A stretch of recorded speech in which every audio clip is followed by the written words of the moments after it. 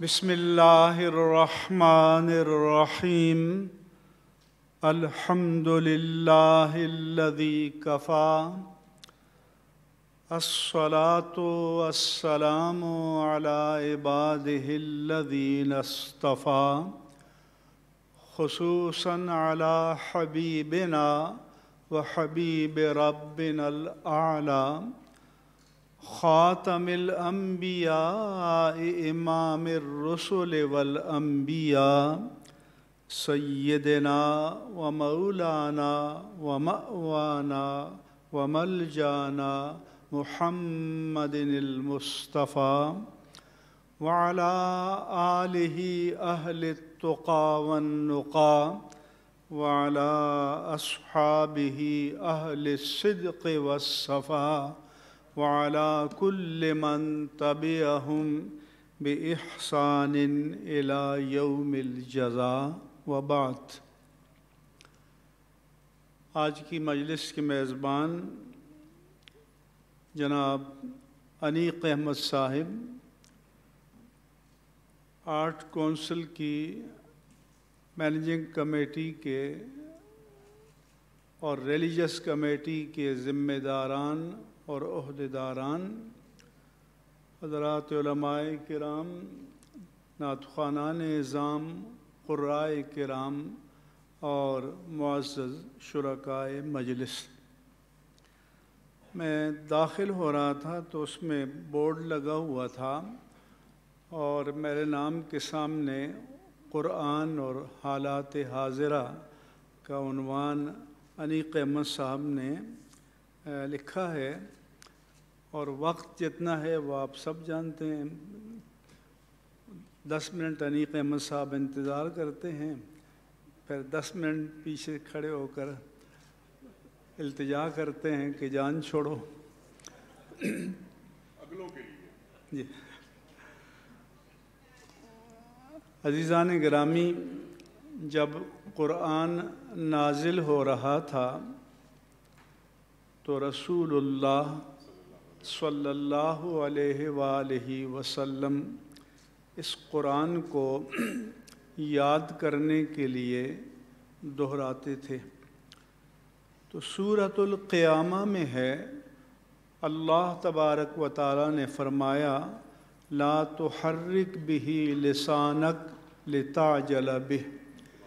ए प्यारे हबीब जल्दी याद करने के शौक़ में अपनी ज़बान को, ज़बान मुबारक को जल्दी हरकत न दिया कीजिए। इन अलैना जमाहू व क़ुरान बेशक इस क़ुरान को आपके सीने में, आपके जहन में महफूज करना और आपकी ज़बान पर जारी करना ये आपका नहीं, हमारा काम है। फ़ैज़ा करना हो फ़तब क़ुरान सो जब हम पढ़ लें, हमारा भेजा हुआ फ़रिश्ता पढ़ ले तो इत्मीनान के साथ, करार के साथ, सुकून के साथ आप इसे पढ़ लिया कीजिए। सुम्मा इन्ना अलैना बयान और फिर ये भी जहन में रहे कि जिस तरह ये कलाम हमारी तरफ़ से है, इसी तरह इसका बयान भी हमारी तरफ़ से आएगा। सो मौजूदा दौर का पहला जो डायलमा या अलमिया ये है कि कुरान भेजने वाला रब जलाल फरमाता है कि कलाम भी हमारा और बयान भी हमारा। और अल्लाह फरमाता है कि इन्ना अनजलना कल किताब लतुबैना से मानुसलहिम कि बेशक हमने आपकी तरफ़ किताब नाजिल की ताकि आप खोल कर बयान कर दें उन अहकाम को जो उनकी तरफ़ नाजिल किए गए हैं। सो ये कुरान बताता है कि जब कलाम भी अल्लाह का बयान भी अल्लाह का तो न कलाम हम पर उतरा, न बयान हम पर उतरा तो जिस पर कुरान उतरा, बयान भी उसी से मालूम होगा। मगर आज का दानश्वर, आज का स्कॉलर, वो कहता है कि कुरान तो मोहम्मद अरब, अरबी पर उतरा, लेकिन बयान हम अपनी मतली मतलब का बयान करेंगे।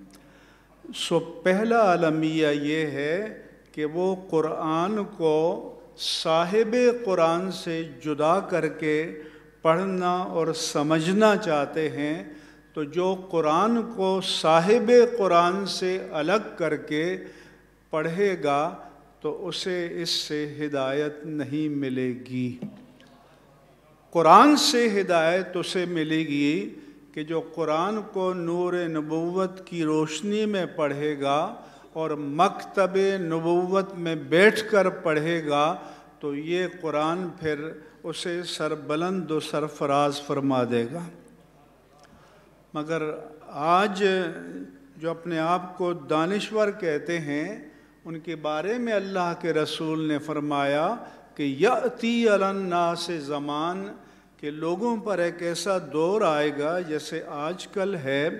रजुल शबान अला अरीकत ही एक शख्स पेट भरा हुआ अपनी मसनत पर मस्त होकर बैठा रहेगा और ये कहेगा कि मा अहल्लाफ़ी किताब ही फ़िल्लु व मा हर्रमल्लाफ़ी किताब ही फ़र्रमू जिसे अल्लाह ने अपनी किताब में हलाल डिक्लेयर किया है, उसे हलाल मानो और जिसे अल्लाह ने अपनी किताब में हराम डिक्लेयर किया है, उसे हराम मानो। सो आज का दानश्वर कहता है कि बस दैट सॉल कुरान से आगे नहीं जाएँगे।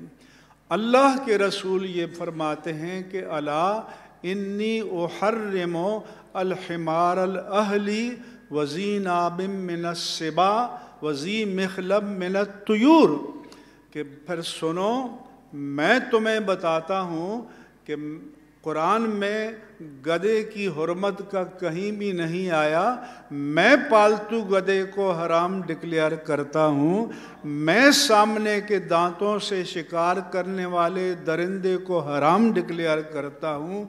मैं पंजों से शिकार करने वाले परिंदे को हराम डिक्लेयर करता हूँ। ये तो कुरान में नहीं है। तो फिर ये कुरान में नहीं है तो जो अल्लाह के रसूल इन चीज़ों को हराम डिक्लेयर करते हैं तो ये कुरान की अथॉरिटी से डिक्लेयर करते हैं कि कुरान ने आपको ये अथॉरिटी दी है कि यो हिल्लुलहमत तो ये बात व यो हर्रमल पाक चीज़ों को उन पर हलाल डिक्लेयर करते हैं और हराम चीज़ों को, खबीस चीज़ों को, नापाक चीज़ों को हराम डिक्लेयर करते हैं। आज का इंसान नबुवत के इस मनसब को कबूल करने के लिए तैयार नहीं है।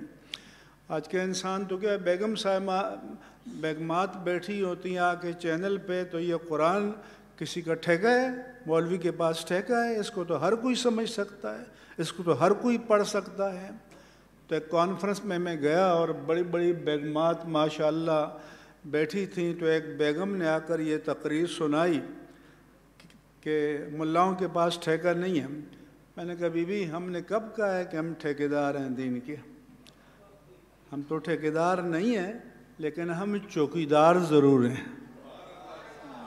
तो जो दीन की इमारत में नकब लगाएगा तो हमारी ड्यूटी है कि उस हाथ को तोड़ दिया जाए, उस हाथ को पकड़ लिया जाए कि जो दीन में नकब लगाने के लिए आगे आएगा। सो ये मुश्किल मकाम है, ये मुश्किल मरहला है और, हम मुआज़ थे ज़माने में मुसलमान होकर और ख्वार हुए तार के क़ुरआन होकर। अब आप फैसला कर लें कि आज हम अकवाम आलम में मुआज़ हैं या जलील ख्वार हैं। हमारी पार्लियामेंट लड़ती रही, लगी रही एक रात में दस दस एक्ट पास कर दिए कि ये लोग हमें एफ़ ए टी एफ़ वाले अच्छा बच्चा मान लें, मगर उन्होंने कहा कि अभी आप अच्छे बच्चे नहीं हैं। अभी आपकी और तरबियत की ज़रूरत है, अभी आपका और इम्तहान होगा तो हमें तो कदम कदम पर झुकना पड़ता है तो न जाने लिख दिया किसने ये मिसरा महराब मस्जिद पर वो नादा गिर गया सजदे में जब वक्त क़याम आया। तो कुरान तो उठाना चाहता है इन अल्लाह यरफ़ बिही अकवामन व यदाऊ बिही आखिर कि अल्लाह ताला आखरीन, कि एक कौम को जो कुरान से जुड़ जाते हैं, उनको सर बुलंद कर देता है और उस कौम को कि जो कुरान पर ईमान का दावा करने के बावजूद कुरान से रिश्ता तोड़ देते हैं, उनको जलील व रसवा कर देता है।